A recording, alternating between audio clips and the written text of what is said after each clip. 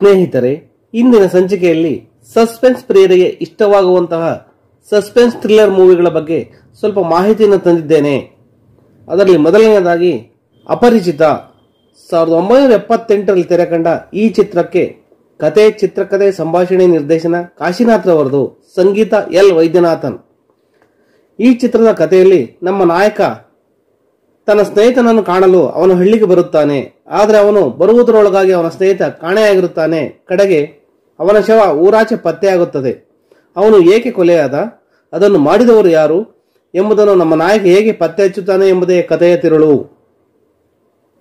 ಚಿತ್ರದ ನಾಯಕನಾಗಿ ಖ್ಯಾತ ಪರಿಸರವಾದಿ ಸುರೇಶ್ ಹುಬ್ಳಿಕರ್ ಅವರು ಅಭಿನಯಿಸಿದ್ದಾರೆ. ಅವರ ಅದವರಿತ ಅಭಿನಯ ಹಾಗೂ ಕಾಶಿನಾಥ್ ಅವರು ಹೆಣದ ಚಿತ್ರಕಥೆ ನೋಡುಗರನ್ನು ಕೊನೆಯವರೆಗೂ ನೋಡಿಕೊಂಡು ಹೋಗುವಂತೆ ಮಾಡುತ್ತದೆ. ಇನ್ನು ಈ ಚಿತ್ರದ ಸಂಗೀತದ ವಿಷಯಕ್ಕೆ ಬರುವುದಾದರೆ ಈ ಚಿತ್ರದಲ್ಲಿ ಎರಡು ಹಾಡುಗಳಂತೂ ತುಂಬಾ ಜನಪ್ರಿಯವಾಗಿವೆ. ವಿವಿಧ ಭಾರತಿ ರೇಡಿಯೋ ಸ್ಟೇಷನ್ನಲ್ಲಿ ಆಗಿನ ಕಾಲದಲ್ಲಿ ಹೆಚ್ಚು ಪ್ರಸಾರವಾದ ಗೀತೆಗಳಲ್ಲೊಂದಾಗಿದೆ. ಸಂಯುಕ್ತ ಸಾವಿರದ ಒಂಬೈನೂರ ಎಂಬತ್ತೆಂಟರಲ್ಲಿ ತೆರೆಕಂಡ ಈ ಚಿತ್ರಕ್ಕೆ ಕೆ ಎನ್ ಚಂದ್ರಶೇಖರ್ ಶರ್ಮಾ ಅವರ ನಿರ್ದೇಶನವಿದ್ದು, hat trick hero Shivraj Kumar ಹಾಗೂ ಇವರ ಜೊತೆಗೆ ಚಿ ಗುರುದತ್ ಹಾಗೂ ಬಾಲರಾಜ್ ರವರು ನಾಯಕ ನಟರಾಗಿ ಕಾಣಿಸಿಕೊಂಡಿದ್ದಾರೆ. ಕಥಾಹಂದರಕ್ಕೆ ಬರುವುದಾದರೆ ದೂರ ದೂರಿನಲ್ಲಿ ಒಂದು ಎಸ್ಟೇಟ್. ಆ ಎಸ್ಟೇಟ್ನಲ್ಲಿ ಇದ್ದಕ್ಕಿದ್ದಂತೆ ಸರಣಿ ಕೊಲೆಗಳು ನಡೆಯಲು ಶುರುವಾಗುತ್ತವೆ. ಇದರ ಹಿಂದಿನ ಕಾಣದ ಕೈಗಳು ಯಾರದು ಎಂಬುದನ್ನು ಪತ್ತೆ ಹಚ್ಚುವುದೇ ಚಿತ್ರದ ತಿರುಳು. ಇದೊಂದು ನೈಲ್ ಬೈಟಿಂಗ್ ಥ್ರಿಲ್ಲರ್ ಚಿತ್ರವಾಗಿದ್ದು, ಚಿ ಉದಯಶಂಕರ್ ಅವರು ಬರೆದಿರುವ ಗ್ರಿಪ್ಪಿಂಗ್ ಚಿತ್ರಕಥೆಯು ಕ್ಷಣ ಕ್ಷಣಕ್ಕೂ ನೋಡುಗರಲ್ಲಿ ಕುತೂಹಲವನ್ನು ಕೆರಳಿಸುತ್ತದೆ. ಇದಕ್ಕೆಲ್ಲದಕ್ಕೂ ಕಳಶಪ್ರಾಯವಾಗಿ ನಮ್ಮ ಹ್ಯಾಟ್ರಿಕ್ ಹೀರೋ ಶಿವರಾಜ್ ಕುಮಾರ್ ಅವರ ಲವಲವಿಕೆಯ ಅಭಿನಯವು ಆ ಚಿತ್ರದೊಳಗೆ ನಮ್ಮನ್ನು ಕರೆದುಕೊಂಡು ಹೋಗುತ್ತದೆ. ಪ್ರೇಮದ ಕಾಣಿಕೆ. ಸಾವಿರದ ಒಂಬೈನೂರ ಎಪ್ಪತ್ತಾರಲ್ಲಿ ಬಿಡುಗಡೆಯಾದ ಈ ಚಿತ್ರಕ್ಕೆ ಲೆಜೆಂಡರಿ ಡೈರೆಕ್ಟರ್ ಆದ ವಿ. ಸೋಮಶೇಖರ್ ಅವರ ದಕ್ಷ ನಿರ್ದೇಶನವಿದೆ. ಈ ಚಿತ್ರಕ್ಕೆ ಬಾಲಿವುಡ್ನ ಖ್ಯಾತ ಬರಹಗಾರರಾದ ಸಲೀಂ ಜಾವೇದ್ ಜೋಡಿ ಕತೆ ಬರೆದಿದ್ದು ಚಿ. ಉದಯಶಂಕರ್ ಅವರು ಚಿತ್ರಕಥೆ ಬರೆದಿದ್ದಾರೆ. ಕಥಾಹಂದರ ಸೀತಾ ಎಂಬ ಹೆಣ್ಣುಮಗಳು ದೂರದ ಎಸ್ಟೇಟ್ಗೆಂದು ಟೀಚರ್ ಕೆಲಸಕ್ಕೆಂದು ಟ್ರೈನಿನಲ್ಲಿ ಹೋಗುತ್ತಿರುವಾಗ ಟ್ರೈನಿನಲ್ಲಿ ಒಂದು ಕೊಲೆಯಾಗುತ್ತದೆ ಅಲ್ಲಿಂದ ಅವಳು ಎಸ್ಟೇಟ್ಗೆ ಬಂದರೆ ಕೊಲೆ ಮಾಡಿರುವುದು ಅದೇ ಎಸ್ಟೇಟ್ ಮಾಲೀಕನಾಗಿರುತ್ತಾನೆ. ಅವನು ಹೇಗೆ ಕೊಲೆ ಮಾಡಿದ ಮತ್ತು ಯಾರನ್ನು ಕೊಲೆ ಮಾಡಿದ ಎಂಬುದೇ ಚಿತ್ರದ ತಿರುಳು. ಇದು ಕೂಡ ಸೀಟ್ ಹೆಡ್ಜ್ ಥ್ರಿಲ್ಲರ್ ಚಿತ್ರವಾಗಿದ್ದು, ಪ್ರೇಕ್ಷಕರಿಗೆ ಎಲ್ಲಿಯೂ ಬೋರ್ ಆಗದಂತೆ ಕೊನೆಯವರೆಗೂ ನೋಡುವಂತೆ ಕುತೂಹಲ ಹುಟ್ಟಿಸುತ್ತದೆ. ಇದು ಸಾಧ್ಯ. ಸಾವಿರದ ಒಂಬೈನೂರ ಎಂಬತ್ತೊಂಬತ್ತರಲ್ಲಿ ಬಿಡುಗಡೆಯಾದ ಈ ಚಿತ್ರಕ್ಕೆ ದಿನೇಶ್ ಬಾಬುರವರು ನಿರ್ದೇಶನ ಮಾಡಿದ್ದಾರೆ ಸಂಗೀತ ವಿಜಯಾನಂದ್. ಒಂದು ರಂಗಮಂದಿರ. ಆ ರಂಗಮಂದಿರದಲ್ಲಿ ನಾಟಕದ ರಿಹರ್ಸಲ್ ನಡೆಯುತ್ತಿರುತ್ತದೆ. ಅಲ್ಲಿನ ಪಾತ್ರಧಾರಿಗಳಂತೆ ಒಬ್ಬ ವೇಷಧರಿಸಿ ಆ ಪಾತ್ರಧಾರಿಗಳನ್ನು ಒಬ್ಬೊಬ್ಬರಂತೆ ಸಾಯಿಸಿಕೊಂಡು ಬರುತ್ತಾನೆ. ಅವನು ಯಾರು? ಅವರನ್ನೆಲ್ಲ ಏಕೆ ಸಾಯಿಸುತ್ತಾನೆ ಎಂಬುದೇ ಚಿತ್ರದ ತಿರುಳು. ಈ ಚಿತ್ರದಲ್ಲಿ ಶಂಕರ್ನಾಥ್ ಪ್ರಭಾಕರ್, ಶ್ರೀನಾಥ್ ರಮೇಶ್ ಭಟ್ ದೇವರಾಜ್, ವನಿತಾ ವಾಸು ಮುಂತಾದ ಘಟಾನುಘಟಿಗಳೆಲ್ಲ ಅಭಿನಯಿಸಿದ್ದಾರೆ. ಆದರೆ ದೇವರಾಜ್ರವರ ಅಭಿನಯವಂತೂ ಈ ಚಿತ್ರದ ಹೈಲೈಟ್ ಆಗಿದೆ. ಇದೊಂದು ಸೀಟ್ ಹೆಡ್ಜ್ ಥ್ರಿಲ್ಲರ್ ಚಿತ್ರವಾಗಿದೆ. ಸಾವಿರದ ಒಂಬೈನೂರ ತೊಂಬತ್ ಮೂರರಲ್ಲಿ ಬಿಡುಗಡೆಯಾದ ಚಿತ್ರ.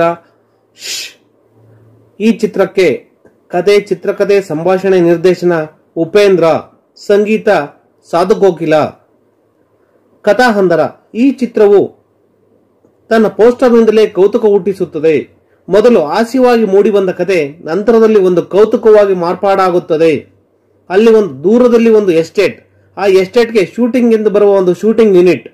ಅಲ್ಲಿಗೆ ಇವರು ಬಂದ ಮೇಲೆ ಸರಣಿ ಕೊಲೆಗಳು ನಡೆಯಲು ಶುರುವಾಗುತ್ತವೆ. ಈ ಕೊಲೆಗಳ ಕೊಲೆಗಾರ ಯಾರು? ಅವನು ಏತಕ್ಕಾಗಿ ಇವನು ಮಾಡುತ್ತಿದ್ದಾನೆ ಎಂಬುದೇ ಕಥೆಯ ತಿರುಳು. ಇದು ಉಪೇಂದ್ರ ನಿರ್ದೇಶನದ ಎರಡನೇ ಚಿತ್ರವಾಗಿದ್ದು, ಇದರಲ್ಲಿ ಉಪೇಂದ್ರರವರು ತಮ್ಮ ಚಾಕಚಕ್ಯತೆಯನ್ನು ಮೆರೆದಿದ್ದಾರೆ. ನಿಗೂಢ ರಹಸ್ಯ. ಸಾವಿರದ ಒಂಬೈನೂರ ತೊಂಬತ್ತರಲ್ಲಿ ಬಿಡುಗಡೆಯಾದ ಈ ಚಿತ್ರಕ್ಕೆ ತೆಲುಗಿನ ಪೇರಾಲ ಅವರ ನಿರ್ದೇಶನವಿದೆ. ಈ ಚಿತ್ರವು ಶಂಕರ್ ಅವರ ಮರಣಾನಂತರ ಬಿಡುಗಡೆಯಾಗಿದ್ದವು. ಆದ್ದರಿಂದ ಅನಂತ್ ನಾಗರ್ ಅವರು ಶಂಕರ್ ನಾಗರ್ ಅವರ ಪಾತ್ರಕ್ಕೆ ಡಬ್ಬಿಂಗ್ ಮಾಡಿದ್ದಾರೆ. ಕಥಾನಾಯಕ ಮೋಹನ್ ಒಬ್ಬ ಇಂಜಿನಿಯರ್, ಒಬ್ಬ ಶ್ರೀಮಂತ ತನ್ನ ದೊಡ್ಡ ಕಟ್ಟಡದ ಫಿನಿಶಿಂಗ್ ಕೆಲಸಕ್ಕಾಗಿ ಈತನನ್ನು ನೇಮಿಸಿಕೊಳ್ಳುತ್ತಾನೆ. ಕೆಲಸ ನಡೆಯುವ ಜಾಗ ಒಂದು ರಿಮೋಟ್ ಏರಿಯಾವಾಗಿರುತ್ತದೆ. ತಾನು ವಾಸಿಸುವ ಮನೆಯ ನೆರೆಹೊರೆಯವರು ಇದ್ದಕ್ಕಿದ್ದಂತೆ ಅಚಾನಕ್ಕಾಗಿ ಕಾಣೆಯಾಗುತ್ತಾರೆ. ತದನಂತರದಲ್ಲಿ ಒಂದು ನಿರ್ದಿಷ್ಟವಾದ ದಿನ ಕೊಲೆಯಾಗುತ್ತದೆ. ಇದನ್ನು ಯಾರು ಮಾಡುತ್ತಿದ್ದಾರೆ ಎಂಬುದನ್ನು ತಿಳಿದುಕೊಳ್ಳಲು ತನ್ನನ್ನು ತಾನೇ ಅಪಾಯಕ್ಕೆ ಒಡ್ಡಿಕೊಳ್ಳುತ್ತಾನೆ. ಈ ಚಿತ್ರದಲ್ಲಿ ಶಂಕರ್ ನಾಗರ್ ಅವರ ಅಮೋಘ ಅಭಿನಯದಿಂದಾಗಿ ಚಿತ್ರಕ್ಕೊಂದು ಮೆರುಗು ಬಂದಿದೆ. ಪೇರಾಲಾರ್ ಅವರ ಚಿತ್ರಕಥೆ ಎಲ್ಲೂ ಬೋರಾಗದಂತೆ ಕೊನೆಯವರೆಗೂ ನೋಡಿಕೊಂಡು ಹೋಗುವಂತೆ ಮಾಡುತ್ತದೆ. ಬಾನಲ್ಲೇ ಮಧುಚಂದ್ರಕ್ಕೆ ಸಾವಿರದ ಒಂಬೈನೂರ ತೊಂಬತ್ ಮೂರರಲ್ಲಿ ಬಿಡುಗಡೆಯಾದ ಈ ಚಿತ್ರಕ್ಕೆ ನಾಗತಿಹಳ್ಳಿ ಚಂದ್ರಶೇಖರ್ ಅವರ ಕಥೆ ಚಿತ್ರಕಥೆ ನಿರ್ದೇಶನವಿದೆ. ಸಂಗೀತ, ಹಂಸಲೇಖ. ಕಥಾನಾಯಕ ಒಬ್ಬ ನೈಜ ಪ್ರೇಮಿ. ತನ್ನ ಪ್ರೇಮಿಯನ್ನು ಹುಚ್ಚನಂತೆ ಪ್ರೀತಿಸುತ್ತಾನೆ. ಕಡೆಗೆ ಮದುವೆಯೇ ಆಗುತ್ತದೆ. ಹನಿಮೂನ್ಗೆಂದು ಶಿಮ್ಲಾಕ್ಕೆ ಹೋಗುತ್ತಾರೆ. ಆದರೆ ಶಿಮ್ಲಾದಲ್ಲಿ ಅಚಾನಕ್ಕಾಗಿ ಪ್ರೇಮಿ ಸಾವನ್ನಪ್ಪುತ್ತಾಳೆ. ಇದರಿಂದ ನಾಯಕ ಹುಚ್ಚನಂತಾಗಿ ಕುಡಿಯೋದನ್ನು ಚಟ ಮಾಡಿಕೊಳ್ಳುತ್ತಾನೆ.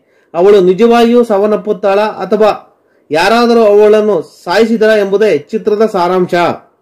ಇದು ಕನ್ನಡದಲ್ಲಿ ಮೊಟ್ಟ ಮೊದಲ ಬಾರಿಗೆ ಐಎಎಸ್ ಪಾಸ್ ಮಾಡಿದ ಕೆ. ಶಿವರಾಮ್ರವರು ನಟಿಸಿರುವ ಚಿತ್ರವಾಗಿದ್ದು, ನಾಗತಿಹಳ್ಳಿ ಚಂದ್ರಶೇಖರ್ ಅವರು ಎಣೆ- ಎಣೆದಿರುವ ಚಿತ್ರಕಥೆಯಂತೂ ಅದ್ಭುತವಾಗಿದೆ. ಸಿಬಿಐ ಶಂಕರ್ ಸಾವಿರದ ಒಂಬೈನೂರ ಎಂಬತ್ತೊಂಬತ್ತರಲ್ಲಿ ತೆರೆಕಂಡ ಈ ಚಿತ್ರಕ್ಕೆ ಪಿ. ನಂಜುಂಡಪ್ಪನವರ ದಕ್ಷ ನಿರ್ದೇಶನವಿದೆ. ಸಂಭಾಷಣೆ ಕೆ ವಿ ರಾಜು, ಸಂಗೀತ ಹಂಸಲೇಖ. ಚಿತ್ರದ ಕಥಾಹಂದರ. ಚಿತ್ರದ ಪಾತ್ರದಲ್ಲಿ ಸಂತೋಷ್ ಎಂಬ ಒಬ್ಬ ಸಮಾಜ ಸೇವಕ ಜಿಲ್ಲಾ ಪಂಚಾಯತಿ ಎಲೆಕ್ಷನ್ಗೆ ಸ್ಪರ್ಧಿಸಿರುತ್ತಾನೆ. ಹೀಗಿರುವಾಗ ಅಚಾನಕ್ಕಾಗಿ ಅವನ ಕೊಲೆ ಆಗುತ್ತದೆ. ಆದರೆ ಪೊಲೀಸರು ಸರಿಯಾಗಿ ಇನ್ವೆಸ್ಟಿಗೇಷನ್ ಮಾಡದೆ ಇದೊಂದು ಆತ್ಮಹತ್ಯೆ ಎಂದು ಹೇಳಿ ಕೇಸನ್ನು ಕ್ಲೋಸ್ ಮಾಡುತ್ತಾರೆ. ಆದರೆ ಸಿಬಿಐ ಶಂಕರ್ ಅವರು ಈ ಕೇಸನ್ನು ರೀಓಪನ್ ಮಾಡಿ ಇನ್ವೆಸ್ಟಿಗೇಷನ್ ಸುತ್ತ ನಡೆಯುವ ಕಥಾಹಂದರವನ್ನು ಈ ಚಿತ್ರವು ಹೊಂದಿದೆ. ಸಂತೋಷ್ ಯಾರು? ಅವನನ್ನು ಏಕೆ ಕೊಲೆ ಮಾಡಿದರು? ಮತ್ತು ಯಾರು ಕೊಲೆ ಮಾಡಿದರು? ಇಂತಹ ಹತ್ತು ಹಲವಾರು ಕಾರಣಗಳಿಗೆ ಉತ್ತರ ಸಿಬಿಐ ಶಂಕರ್. ಶಂಕರ್ ನಾಗ್ ಅವರ ಅಭಿನಯದಿಂದಾಗಿ ಇದು ಅವರ ಕೆರಿಯರ್ನ ಅತ್ಯುತ್ತಮ ಚಿತ್ರಗಳಲ್ಲೊಂದಾಗಿ ನಿಲ್ಲುತ್ತದೆ. ಇನ್ನು ಹಂಸಲೇಖರ್ ಅವರು ಸಂಯೋಜಿಸಿರುವ ಹಾಡುಗಳಂತೂ ಅದ್ಭುತವಾಗಿದ್ದು, ಈ ಚಿತ್ರದ ಗೀತಾಂಜಲಿ ಹಾಡು ಇಂದಿಗೂ ಯುವರಸಿಕರ ಯುಗಳ ಗೀತೆಯಾಗಿದೆ. ಇನ್ನು ಹಂಸಲೇಖಾರ್ ಅವರು ನೀಡಿರುವ ಹಿನ್ನೆಲೆ ಸಂಗೀತ, ಅದರಲ್ಲೂ ಥೀಮ್ ಮ್ಯೂಸಿಕ್ ಅಂತೂ ಅದ್ಭುತವಾಗಿದ್ದು, ಇಂದಿಗೂ ಹಲವಾರು ಜನರ ಫೋನ್ಗಳಲ್ಲಿ ರಿಂಗ್ ಟೋನ್ ಆಗಿರುವುದು ವಿಶೇಷವಾಗಿದೆ. ಹಾಲೆ ಮನೆ. ಸಾವಿರದ ಒಂಬೈನೂರ ಎಂಬತ್ತೊಂದರಲ್ಲಿ ತೆರೆಕಂಡ ಈ ಚಿತ್ರಕ್ಕೆ ಮೋಹನ್ ಕುಮಾರ್ ರವರ ನಿರ್ದೇಶನವಿದ್ದು, ಎಲ್ ವೈದ್ಯನಾಥನ್ ರವರು ಸಂಗೀತ ಸಂಯೋಜಿಸಿದ್ದಾರೆ. ಇನ್ನು ಚಿತ್ರದ ಕಥಾಹಂದರಕ್ಕೆ ಬರುವುದಾದರೆ ಒಂದು ಹಳ್ಳಿ, ಆ ಹಳ್ಳಿಯಲ್ಲಿ ಬೈರಾ ಎಂಬ ಯುವಕನ ಹೆಂಡತಿಯನ್ನು ಮಾನಭಂಗ ಮಾಡಿ ಘೋರವಾಗಿ ಸಾಯಿಸಲಾಗುತ್ತದೆ.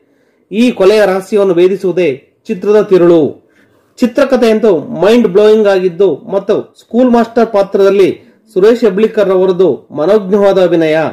ಇನ್ನು ಈ ಚಿತ್ರದ ಸಂಗೀತದ ವಿಷಯಕ್ಕೆ ಬರುವುದಾದರೆ ಈ ಚಿತ್ರದ ಒಂದು ಹಾಡು ಇಂದಿಗೂ ನಮ್ಮ ಸಿನಿ ರಚಿಕರ ಯುಗಳ ಗೀತೆಯಾಗಿದೆ.